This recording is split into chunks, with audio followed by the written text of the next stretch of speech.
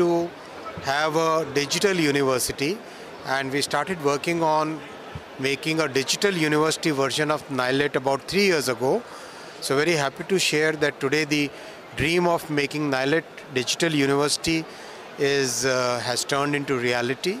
We have also simultaneously started five new NIELIT centers, one in Odisha, Baleshwar, second in Muzaffarpur, Bihar, in Daman, in uh, Mizoram, and in Tirupati, Andhra Pradesh.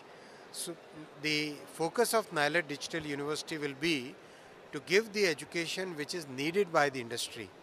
NIELIT will take up, will start discussing with the industry participants and about 500 industries will be selected by NIELIT for preparing the courses which are in line with what the industry needs, what the students would like to have so that they become absolutely aligned with the industry's requirements.